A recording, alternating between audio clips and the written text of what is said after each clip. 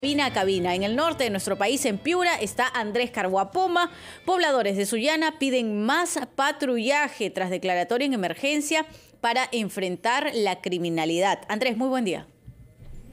¿Cómo estás, Joana Omar? Buenos días, buenos días a todo el país. Así es, el anuncio del Ejecutivo sobre la declaratoria de emergencia por inseguridad ciudadana en Sullana ha generado grandes expectativas debido a que la población vive con temor eh, y esto ante la agresividad con la que actúan los sicarios y además los delincuentes. Esa declaratoria de emergencia ah, le ha costado a Sullana más de 40 crímenes en lo que va de este año, siendo así una de las provincias de la región Piura con más asesinatos en su mayoría reitero, por sicariato.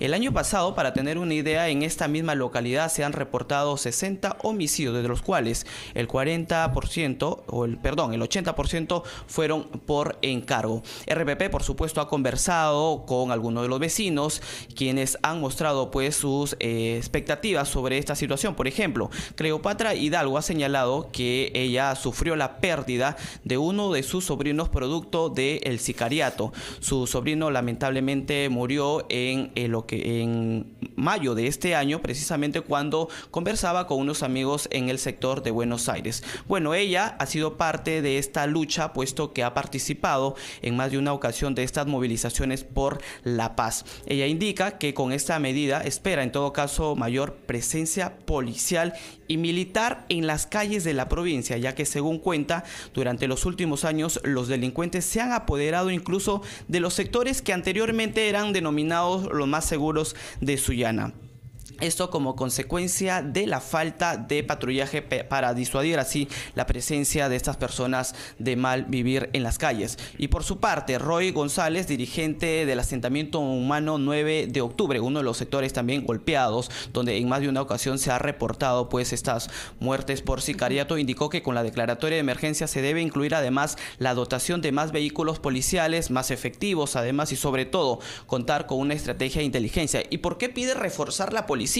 Porque, por ejemplo, el asentamiento humano 9 de octubre pertenece a la jurisdicción de la Comisaría Sectorial del Obrero, una comisaría que solo tiene un patrullero, que solo tiene cinco motocicletas y que lamentablemente no cuenta eh, con mucho personal policial para una población de cuánto? De más de 50 mil pobladores. Entonces ahí está un poco la limitación, por lo que de alguna manera la delincuencia y el sicariato se ha aprovechado. Esto es un poco el, eh, parte del panorama que se vive en Sullana. Sí, Joana, te escucho. Repítenos, Andrés, el número de personas fallecidas como consecuencia de, de, la delincuencia de este año, pero así es también la comparación con el año pasado, 2022, y las cifras no se alejan.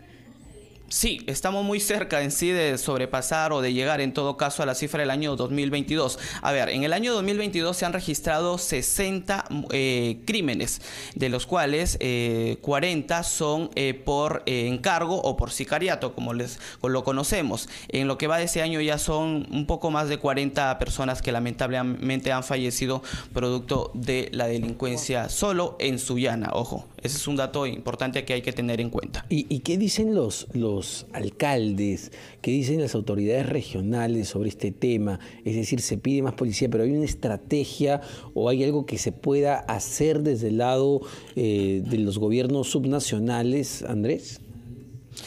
Eh, te cuento, Mar, que por ejemplo desde el gobierno regional se ha anunciado la compra de un lote de patrulleros, eh, exactamente 50 vehículos que van a ser distribuidos en toda la región, evidentemente Sullana, por ser uno de la, una de las zonas eh, más críticas en temas de inseguridad ciudadana, se le va a priorizar. Además, los gobiernos locales han estado articulando con la policía precisamente en este patrullaje integrado con el Serenazgo e incluso se les ha cedido algunos vehículos, pero no es suficiente porque la brecha en infraestructura, en vehículos, en efectivos, en la policía es realmente eh, amplia. En todo caso, lo que se espera además, porque el, ministro del Interior, Vicente Romero, anunció hace unas semanas que la compra de un lote de vehículos y de los cuales se iban a enviar también a Sullana y sobre todo también a Piura, porque cabe precisar, compañeros, que la provincia de Piura es otra de las provincias más golpeadas por el tema de inseguridad ciudadana y que también está a la espera de una declaratoria